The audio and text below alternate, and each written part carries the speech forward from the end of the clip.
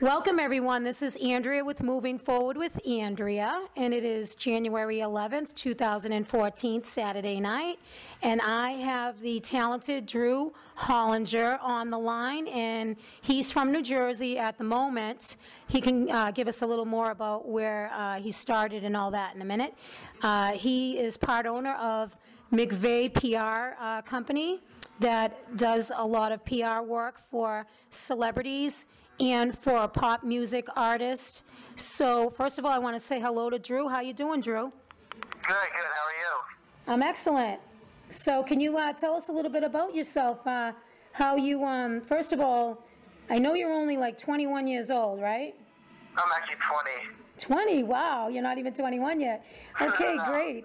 Well, um, from what you, our conversation prior to the interview, um, I know you started this journey, it's been in your heart and soul, and you have some people in your family that are associated with things, which make it a little easier for you as well.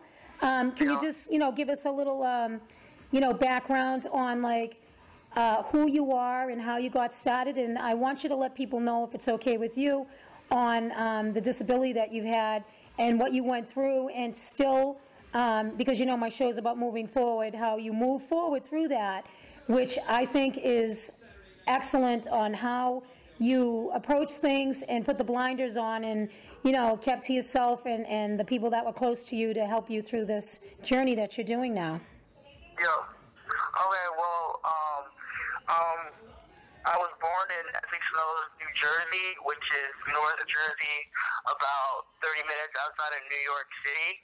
Uh, you know, I've always lived in the suburbs, New Jersey, northern suburbs, and uh, it all pretty much started when my parents put me into a small special uh, special school for uh, learning disabled students when I was in elementary school. Can- Excuse So, me, can you tell, uh, um, can you tell the folks that are, um, gonna be listening to this, what, um, what is, you know, what's going on with you, of why you are putting something like that, so that they understand what we're talking about?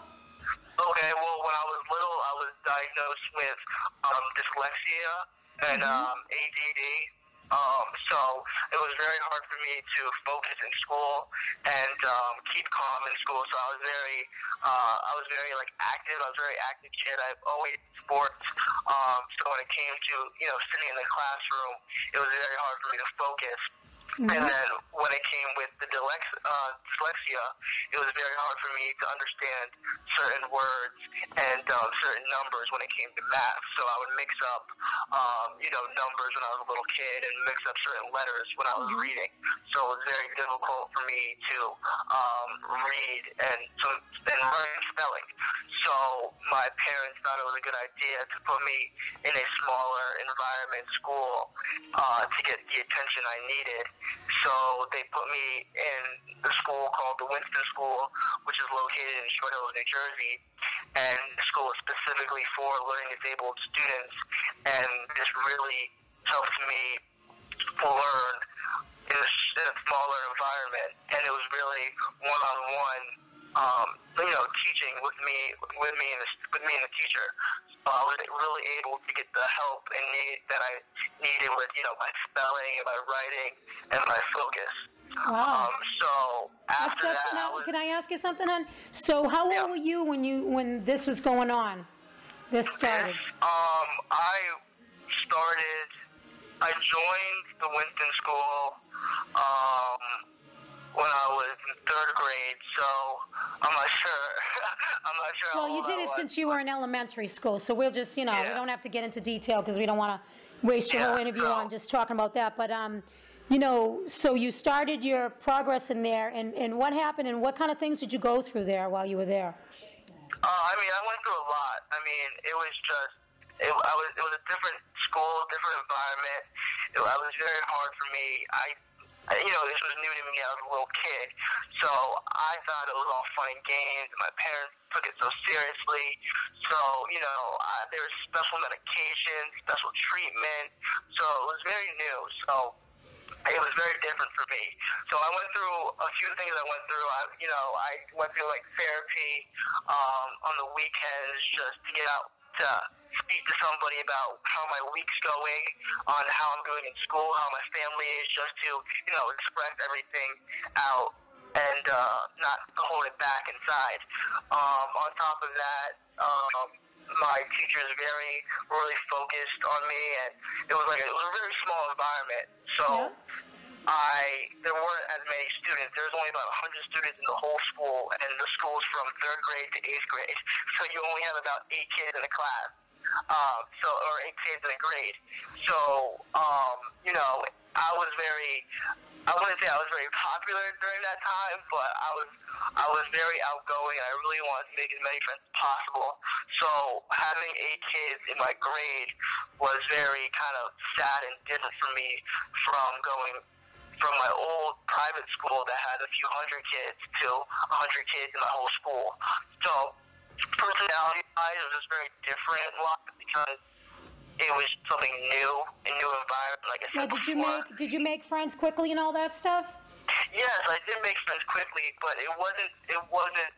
It wasn't. It wasn't the same like I wanted to be. I wanted to be, you know, having a big group of friends going, you know, out playing, get food, Yeah. um, having So how- and then it switches to, you know, having one or two best friends. So But- how, how did you move forward through all of this to, you know, um, being positive and, and keeping yourself um, moving forward what you wanted to do in your life? Because you know that you had some goals that you already started at a young age. Can you tell the folks out there like what age that started where you thought maybe you wanted to get in the PR business and, and being involved with um, what you do? I mean, did you just think about it? I know you have a friend that is uh, part owner with your company with you that um, he Yeah. has the same issues as you do as far as um, with the uh, disability that you guys have, and um, also he's been through some of the same things. So you both are kind of on the same wavelength, right? Yeah, I mean, you know, we we are family friends. We went to middle school, went to elementary, middle school, and high school together. And you know, he's, he's my best friend. He's one of my best friends today. What's his and name? One of my, his name is Cian Connor. He lives in Glen Ridge, and you know, we we're just we're just great together. He's honestly my other half. Um, and you know, I wouldn't be here without him, to be honest with you. But there is one of my other good friends.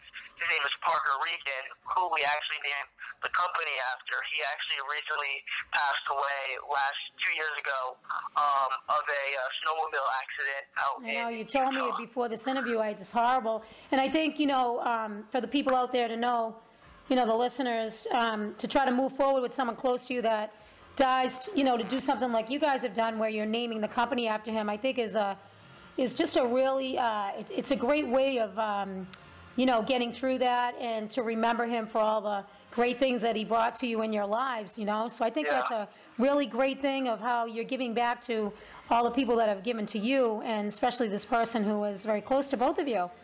Yeah, exactly. No, So no now, you're, you're still in school right now, right? Yes, I'm a I'm a sophomore at Quinnipiac University. I'm a uh, public relations major, minoring in management. Um, so like everything, entertainment wise, celebrity wise, um, music wise, I just I fell in love with it when I was in high school, really. And Yeah, how did I'm that, always- how did that come about? Like, were were you happen to be like at an event, or how was that? I I honestly like I've always had a passion for music. I've always was very interested in it. You know, my favorite artists, you know, Chris Brown, Jay Sean, Justin Bieber, Justin Timberlake, and I just always found them just so fascinating in their lifestyle and Yeah, their- I- I'll tell you, I met- music they make. I'll tell you, Drew, I met Justin Timberlake at the uh, Mandalay Bay. I was uh, there on vacation a couple years ago, and he was um, doing a benefit for uh, the Burn Center for Sh- the Shriners Burn Center for Children. You know, the Shriners, and they did a big golf event in the day, and then at night they had seven recording artists he put together with Timberland, Timberlake. They had an after party that night at the um, beach, which is off the charts. It was my birthday that night. It was crazy. I was in uh, like first row loge. I seen Taylor Swift, Snoop Dogg, Alicia Keys. Um, he played with Timbaland. He collaborated with every musician playing guitar, singing, whatever. He is very talented. And that was after Yeah. being, you know playing golf and drinking all day. You know, he is a very humble guy. He really is. He's a sweetheart. Love him. Yeah, no, but I mean, I just find you know their lifestyle and their music is so fascinating, and I've always I've always have, you know, reached out to music um, when I was a little kid, and I always just loved it. But when I, when I really figured out that I wanted to do something in public relations or mm-hmm. something with celebrities entertainment was my uh, senior year in high school. Uh, I had to have an internship to graduate, so yeah. I went down to Miami, Florida and I interned with my uncle, who is actually the uh, CEO of Q Science, which is a uh, nutrition company, and they have a lot of great, you know, business clients, and some of their clients are t- their biggest clients are Tiger Woods, David Ortiz, Arian Foster. So I randomly got put into their marketing and PR field. So I was able to really kind of learn and grow. And I was able to travel with their team. I went out to Malibu to see their research facility, you know, and I went Wow, to, that's pretty impressive yeah, now. It, How it old was, were you when you did that? You were in your first year of high school, you said? No, I was a senior in high school, so I was yeah, I just I was like 18. Okay. Um, um, so it was very, it was very eye opening, and it was very different. And I was able to um, see a lot. And I was, I was very exposed. So I loved it, and I was like, this is very cool because I was able to meet David Ortiz and get Ron, meet Rondé Barber and get autographs and photo shoots. And I was like, wow, I really can see myself doing this in the near future.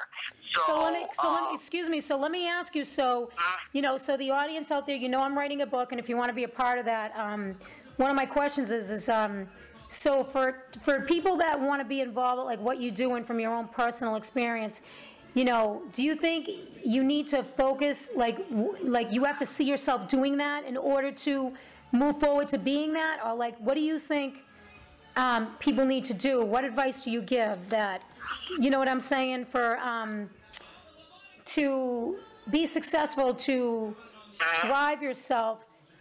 Like you're you're saying right now that you foreseen yourself doing this. Uh, yeah. So that's I mean, helped you. I think it's just I think it's just something that you love to do. I mean, if you if you love sports, you know, try to do something in the sports field. I mean, it could be anything from you know sports like training to um, sports broadcasting, you know, anything. If you love so, sports, yeah. So what you're saying is, and it's funny because the guy that I just interviewed the other night, Frankie Ambergamo, he's an actor for the Boston SAG, and he said, you know, you know, everything in Andrea is very hard work, and you know, these kids that think that they can just go out there and just be a part of SAG, like you have to pay your dues, and you got to work hard. You got to, you know, PR yourself and your PR company, so you understand where it's coming from. Um, and, and I want the folks to know out there, not that we're going to jump stories here, but, you know, the name of uh, Drew's company is called MacVeigh, you know, after his friend, and it's one word. And uh, do you want to tell them how that's spelt? And so when, I know your website's under construction, but it'll be up. How can uh, they look you up? What's it going to be under? Um, it'd be under MacVeigh PR. You know, if you can look it up on Facebook, Instagram, and Twitter. Um, but when the website, but when the website comes up, it's going to be M A C V E I G H P R dot com and not P period R period. It's just PR, right? Yes, that's correct. Okay. So I just want the folks out there to know that, you know, when you're looking for that in the future, I mean, it is under construction, but within a month it'll be all set up because this yep. interview will be posted on YouTube for now, and it'll be exposed to, you know, worldwide for the whole world to see for the future, for you and for me, for the show and for my book. So um, I want to make sure we get the information correct for everyone. And so people out there, it's MEC, M-A-C-V-E-I-G-H-P-R dot com. Excellent. So now can you tell us some other things that you've done? Because so that got your mind associated with this. So you're with the family member who's giving you behind the scenes, you know, uh, situations where you're around these people. Can you tell us like what that felt like, and, and then what else did you do? I mean, I, I just did everything. I mean, that was just that was my first time really being in the field. So um, I was kind of really overwhelmed and kind of um, hold back a little bit, a little on on some of the stuff. But when everything really sunk in was when I was able to get my first internship with uh, Bad Boy Entertainment. Um, I had that internship the summer of 2013, and I was able to work with the you know executive assistant to uh, P Diddy, and that's where I really was just blown away. Um, you know how much is like how much you need to put into working in the entertainment field. So can you Um, can you tell us? I mean, we don't want to give away his all his secrets for that, but for what you can tell us legally, um, can you tell the folks out there because it might help them, you know, and it'll be a part of the book, some advice that. You know, from what you gathered, from what you've seen of the hard work, it's not just like it's slapped in your hand. What did you see that you gained from that, that you can tell people that'll help them? what do I see? I I mean, some just advice, and um, from what I've seen when I was there, I mean, honestly, the little little things count in life. The little things that you do, you know, don't go unnoticed. So, um, a lot of the stuff that I did there was I did little stuff. I mean, I I planned I planned some of that. I mean, this is this is kind of big, but I planned some of his trips when he went out to Paris and when he went, you know, travel with his family. So I do call up travel agents, figure out scheduling. I did some of his um, expenses for the company. On top of that, he No, I know regular- that. What I was asking, I'm sorry, you might have misunderstood. Now, what you gathered from him, you know, being in that environment, what do you think, like, because you said it's hard work and you got to see really how much it entails of what he does for P. Diddy and all these other people? It's not very easy. I mean, he had you doing interning for him, but you know what his job wasn't very easy either. And to, to take, you know, to, to have what it takes to do this, what can you, what can you tell people that it is from what you gathered from that internship that'll help them? Because I know what you were doing, but I'm saying from seeing what he does for P. Diddy and other people, what did you gather?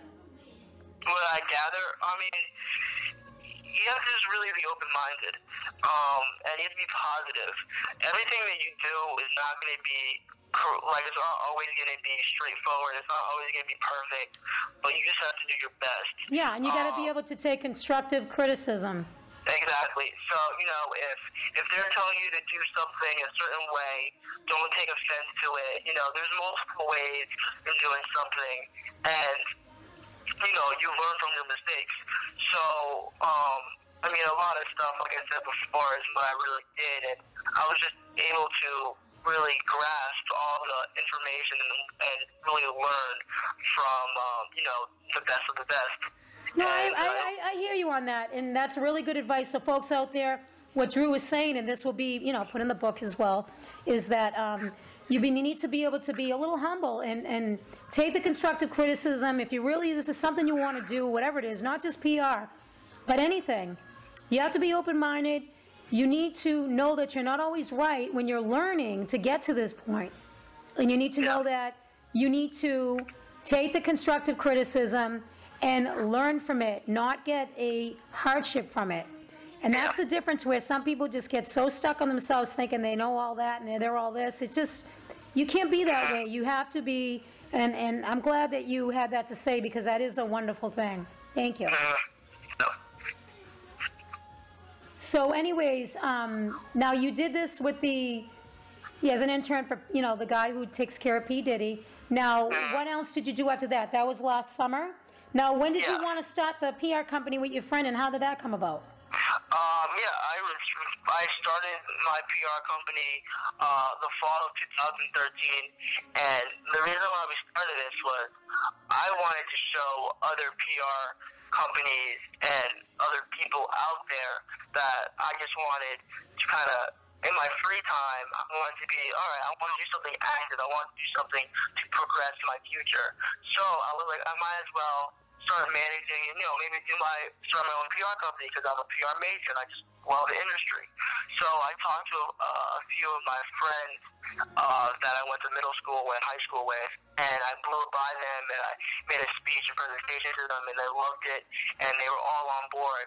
And you know after that we just got got started, figured out everything that Excuse we me, can to you tell, can you, can you tell us, so you wrote a speech to the high school? No, I wrote a speech to like my friends to give them a presentation of, you know, this is exactly what I want to do. This is exactly what I want to accomplish, and this is where I see ourselves going in the future. Um, just so they can be on the same page as me, because I have a, I have a certain goal and I have a certain vision. Now, But- now, all these people have the same disability that you have because you were at the special school, right? Yes, that's And correct. can you, yes. what, can you just get a little more depth on what, I mean, because you're all in the same boat, so it really wasn't like you were treated differently there. It's when you weren't in that school and you're at another school, you were treated differently, right? Yeah. And what, can you just, not to jump back, but can you just explain to people like what you went through and how to overcome that? Because I think that'll be very helpful and be a good part of who you are for the book. That, um, you know, you need to, you know, know how to deal with that so that, that you can move forward what you want. So can you let us know? Yeah, I mean, when I was little, um, I I got like teased and bullied a little bit about I, that I couldn't, you know, read a certain word, read a certain word, or, or write certain words down because of my spelling.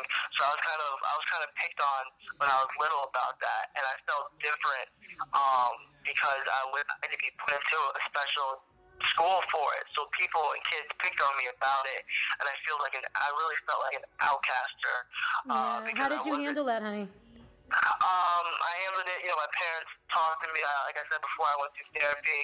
Um, and I really handled it actually on the soccer field, where I, you know, that was my one of my other true passions was soccer, and I Oh. really took out a lot of my kind of emotions and energy into playing soccer. So, you know, I played, I played on you know, the state team. I played on one of the best teams in the country.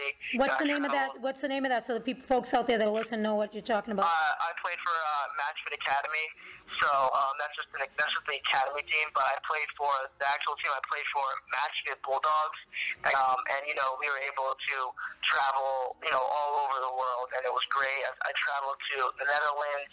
I fully played European teams. Uh, we played some of the best teams in the country. So I That's was very. crazy. I was- Now, can I just ask you something? Uh, Yeah. Now, you, so you, is it basically like you had a learning disability or what is it in a nutshell? It, it is a learning disability. Yes, it is. A, I did have a. I still do have a learning disability. Yes. And what is that, what does that insi- consist of, meaning that you have a hard time absorbing things or um, writing have a- things, or how, have- how does that, just so people a, know? I have a harder time. Um, I have a. It's harder for me to read, spell. You know, I have extra time taking tests, so you know, time management is very key for me. Um, And this, I, and this is other folks in that school as well, so it's all people with learning disabilities? yes, yes. Okay, Um, just so and- we know, because the folks out there that, that hear this, you know, people that have gone through this know that you're, you're, I mean, everybody has problems and you're just as good as the next person and, um, you know, there is help out there for you and there are people that go through the same thing as you, so don't get down on yourself and know that you can still be something and be something special in life. I mean, if you really think about it, some of the smartest people uh, in the world have learning disabilities. You know. That's right, yeah, I So- know, and, yeah. So, I I agree. mean, yeah. Yeah, that's excellent. So I, I appreciate you telling us that because I know that's like your personal life, and um, I just want people to know who you are and how you dealt with that. So um, you just focused on, you know, well, you first of all, your parents put you in another school, so you didn't have to deal with all that BS, and then on top of it, um, how did you deal with it personally? Um, personally, it was, it was hard. You know, I, I had to talk to my parents a lot about it um, because I just felt different and felt an outcast. And I, I always asked them, you know, what's wrong with me and am I ever gonna get better? Thinking it was like a, like a disease. Um, but you know, now now looking back at it, I, I I'm happy who I am and where I am today. I am happy for you too, honey, and I think it's really great that you've overcome that. I mean, you're human, so you're gonna feel those emotions, and because it's an outcast, especially uh, bullying. And I actually was bullied one year in my life in school, and it's a horrible feeling. And I think anyone that does any of that for people out there that are listening, um, and there's laws now, people get arrested for that stuff now, and Yeah. they, they all should be accountable for their actions. And I am 100% on your side with that. Yeah. You know. So, if you ever need me to do anything for you um, in the future, for if you do anything with bullying and all that stuff, you know, with, you know, in the future, um, I will be a part of that because I really, uh, it's, that's in my heart and soul. So just so you know. Okay. But um, anyways, we don't have to like go elaborate on that more and more. So now you sent a letter out to your friends. And you said if whoever wants to come on board, let's do something, let's get this going. And then this is where your friend, that's your partner now, got involved. Uh, yep. Okay, and is there anybody else that you went to school with that's involved too, or just You too. Yeah, well, yeah. One of my other good friends, Joe Fignani, um, we met in high school, and he has a learning disability too. Um, we all we all partnered up together and we we made this work and you know he he handles our kind of our finance and business like the core business part to it. I handle mainly I handle everything pretty much but I handle mainly the communications and PR and um Cian my other co-founder he handles the marketing side so he really does the the strategy and the strategic um ideas to it. But um yeah pretty much we do everything together. And how old is he? Uh, we're all 20 years old. Okay, and he's 22. And what's his name again, just so I can have this written on here? Ian Connor is um, he is the co-founder. He's the other co-founder, and Joe Finiani, he um, is our CFO. Yeah, well, I can get that information after the interview just to make sure I Yeah. spell names right, and you can tell me which pictures and stuff, so make sure we get the right situation here for you. Yeah. All right, okay. so excellent. So you guys got this together, and this was last year, yeah, right? So it just started, you know, within six months. yeah, yeah. Okay, so now you folks are on this journey, you're putting things together. Now, what's your goal? Our goal, uh, um, I mean, I would say our end goal goal is to be, you know, one of the best celebrity entertainment PR companies in the world. Um, you know, working with the best stars, celebrities, and everything all around. Um, you know, one of my idols is Jonathan Cheban, and he, I think he's just one of the best PR. He's really my PR icon. Um, and you know, Simon, Simon Huck, and they're, they're just one of the best. So I, Yeah, Simon I is up- really good. He's really, really Yeah, good. I, I look, Now, do you have- him. Do you know people? Well, because you said you have family in there, so you have a couple connections, which you know it is how you utilize your, um, let's say, uh, people that you know. So it's, uh, you know, when you have connections, it is all in who you know and how you use them. So, Yep. you know, what do you have to say about that? I mean, yeah, you have to just use your connections, you know, to your full ability as best as possible. I mean, a lot of a lot of where I've been and where I've gone, I mean, is through connections. I mean, I'm I'm blessed and I'm happy to where I've been and um, who I'm becoming um, through either you know my friends or my parents' friends and you know just every everyone that's surrounding me. But you know, when when you do get to that age and when you get to college and get situated. You know, connections are very key. I mean, some even the smallest connections um, can lead you to the biggest opportunities and the biggest Yeah, so, chances. so folks out there know that, you know, it is, uh, you know, and, and who you know, but it's how you use them, and even the smallest ones, because you could be doing an event, and someone there, even though it's not the biggest event, they might scout you and then want you for something big. You never know what's going to happen. exactly, exactly. Excellent. So, what's your future plans now with the, with everything? Uh, my future plans, I mean, you know, just definitely graduating school, of course. um, on top of, uh, just, working on my working on my company, trying to be the best. Um, trying trying to be one of the youngest PR, um, you know, professionals. Even though I'm not a professional yet because I don't have my degree, but trying to be one of the um, youngest PR agents out there in the game, and to you know change change PR. Um, it doesn't have to be celebrity PR. I just I just want to change the game in general. Um, How do you so want to change that? Um, that's for me to know and for everyone to find out. Okay. All right, so it, you're just having a different approach on things. And Yeah. you using your connections in the right way, and you have your, your couple of friends that you went to school with that are helping you with that. So now let me ask you, um, so what other, other advice do you have to give to people um, for moving forward in life so that um, we can sum this up and uh, put this together for you? Um, I would just say like, be happy. I mean, just never, never look down, never look back at certain things that you regret doing because you are where you are.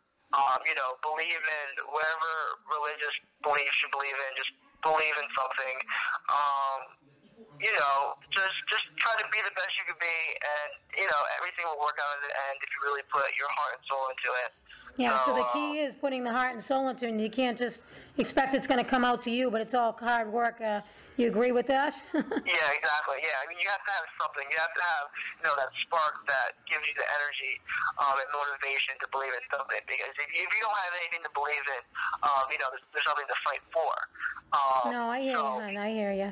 You know something, and that's, that's, that's what people um, are driven by, is their goals, and it's good to have goals because it makes us be hungry for that, and that's what Yeah. pushes us to be more successful in life. And I- Exactly, I and- agree, I and- agree with you on that. I think that's, Yeah, and the journey, and the journey is the best. The journey is the best part.